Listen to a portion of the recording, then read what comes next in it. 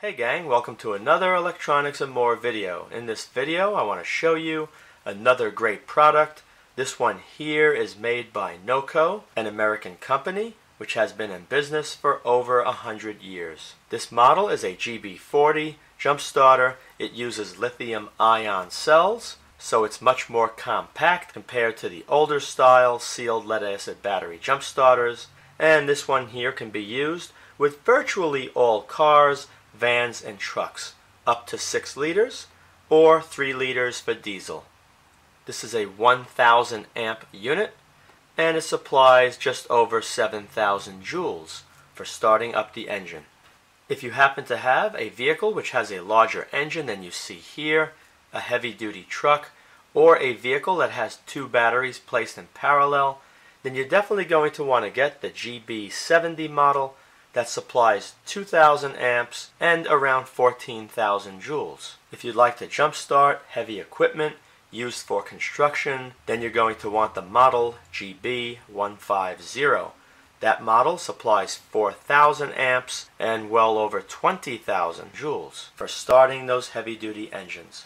In addition to having the ability to jumpstart vehicles, with this particular model here, you can jumpstart up to 20 times on a single charge. There's also two LEDs on the front of the unit, and there's seven different modes for the LEDs, varying brightnesses, SOS, as well as a very bright emergency strobe. So if you're going to use this unit to jumpstart a boat, the one I tested was an inboard. It had two V6 Crusader engines. One battery was very weak and no problem at all starting up that boat. The good thing is it's spark proof and you cannot reverse the connections because the circuitry of the unit prevents you from doing that. You do not want to have sparks, especially when jump starting a boat because inside the bilge area there can be explosive vapors and you do not want to ignite those vapors. The company sells 12 volt models as well as 24. In addition to being able to jumpstart your vehicle, your motorcycle, or your boat, you also have an outlet right here for USB up to 2.1 amps, so you'll also have the ability to operate and charge virtually all your USB devices. This unit is charged using USB. So included with the unit, which you'll see in a minute, is a small accessory socket USB adapter. You plug it into the other port where it says USB in, and it allows you to charge this unit. Even though it's a higher voltage on the clamps, the internal circuitry, more than likely, using a highly efficient boost converter, converts the 5 volts DC into a much higher voltage to charge the internal lithium ion batteries. And let's take a look at this side before I open up the box. And right here you can see the traditional type of jump starter, the one that has a sealed lead acid battery weighing around 18 pounds, and this one weighs only around 2.3 pounds, small enough to fit right inside your glove box. And the good thing about having lithium ion batteries inside this unit is the self-discharge rate is extremely, extremely slow compared to a sealed lead acid battery. As a result, the charge will last a lot longer when you charge up the unit. Everything you're looking at is included with the unit. It was nicely packed inside this box. One more thing to note, there is a one-year hassle-free limited warranty and free lifetime user support. The user guide and important product information guide both are written in several different languages.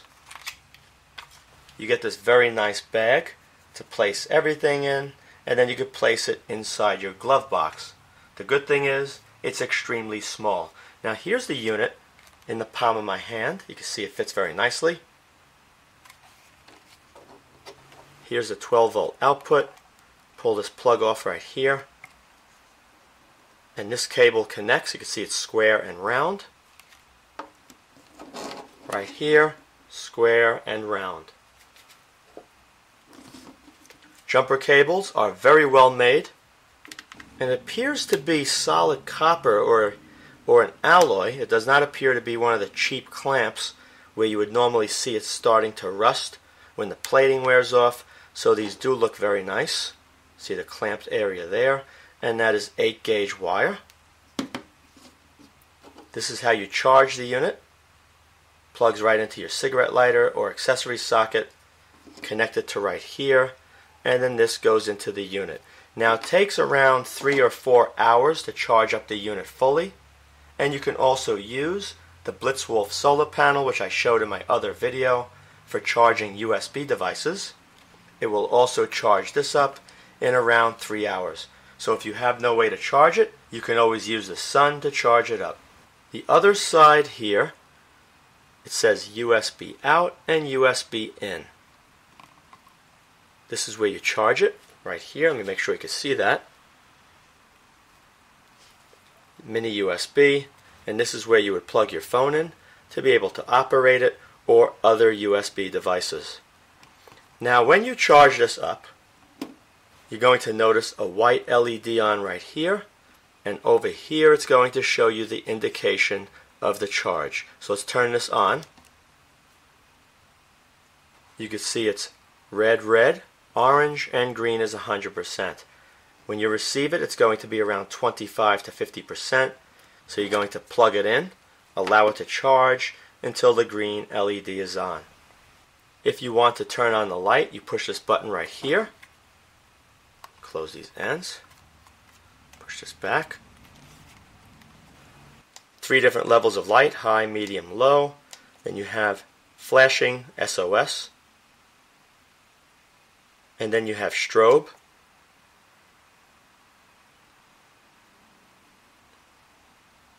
Is power off. So that's very useful to have, especially if you break down at night.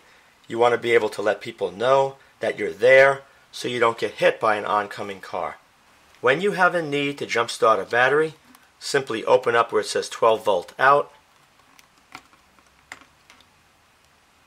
take the jumper cables, make sure the end is right, the square is over here, and you can see the arrow facing up, insert it, and that's ready to go. You take the positive, you're going to connect it to the positive post of the battery, and then you could take the negative and connect it to either the negative of the battery or what I like to do because it's safer is connect it to the chassis or vehicle ground. Any bolt on the engine will work. Once the unit's turned on, if the clamps are properly connected to the battery, you're going to see the power indicator LED. These will go in a sequence and you're going to see this white LED right over here indicating that it's properly connected. If the clamps are backwards, if this is on the positive and that's on the negative, you're going to not see this white LED and you're going to see a red error or right here it says caution. That LED will come on indicating it is backwards. Turn the unit off, connect the clamps properly, and then push the power button. Once the power button's been pressed and you see the confirmation that it is in boost mode ready to go, that says the clamps are connected properly, go inside the vehicle and try starting the engine. If the engine does not immediately start up, wait 20 to 30 seconds and then try again. It should start right up.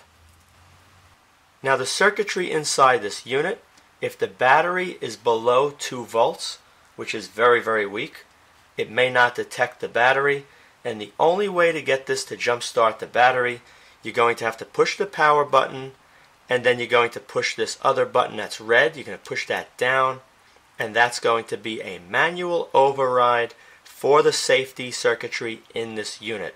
So make sure the cables are connected properly and then once you do that you can push the red button, wait about 30 seconds and then start the vehicle. This is truly something that everybody should carry in their vehicle so you do not have to rely on anybody giving you a jump start using jumper cables in the event your battery goes dead. In the event that once you're done jump starting the vehicle, you forget to turn this off, it does have an auto off circuit. Standby current is extremely low, so after a few hours, this will automatically turn off. Let's take a look at the back. Lithium ion, 24 watt hour, 2.1 amps charging current, and you can get 2.1 amps to the USB port, which will charge just about all your devices. And if you needed 12 volts to power something, using the clamps, you can also get 1 amp off of these clamps. Because it is so compact and easy to use, this is something I would highly recommend that most, if not all people, carry in the glove box of their vehicles, especially if you have a wife, girlfriend, or daughter. In the event they're coming home at night and their vehicle battery goes dead, the last thing you want to do is worry about them getting a jump start from somebody that they do not know. As a result of carrying one of these, they will not have to interact with any strangers to get their car started up. I did place a link in the video description area to this product as well as others by this company. So be sure to check them out. Now the same cable that's used to charge right here, alright, plugs in your accessory socket. This plugs into the unit. This would be USB in and the curve on top. Plug that in the accessory socket and in a few hours it will be charged. Over here is where you would plug in the phone. Now my phone happens to use this connector. It's a Samsung. So I'll pop this out, plug this in, and I'm going to plug this into my phone and it should say charging. Here we go.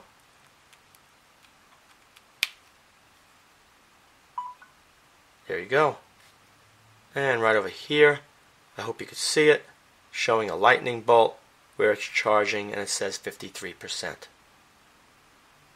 Let me see if it still charges with the power off. Nope. Alright, so in order to charge, power on. There you go. And power off. Now let's go outside and connect it up to the battery. Take the negative clamp, negative terminal, positive clamp, positive terminal. You're going to turn on the unit right here. And you can see it's flashing and it's also clicking. That LED is on, white, indicating you're ready to go inside the vehicle and start the engine. Now let me show you how it looks when it's connected backwards. And as you can see, positive is now on the negative, negative is now on the positive.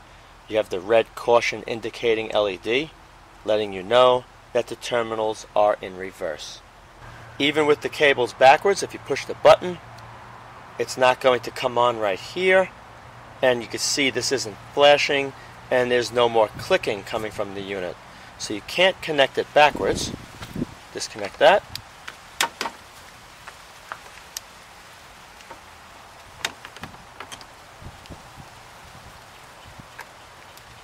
As I mentioned earlier, if the battery voltage is way down, below 2 volts, when you push this button right here to turn it on, you may not see the cycling and that LED may not be on. In that case, as long as the clamps are in the correct position, you can disable all the safety features by pushing this button right here. When you push that button, it looks exactly like this. Hold for three seconds. And now you're on manual override. And now you're back to normal. I hope you enjoyed this video. If you did, please rate it a thumbs up, subscribe, and post links to this video on other websites and blogs. Also be sure to check out my video playlist as well. Thank you very much for watching.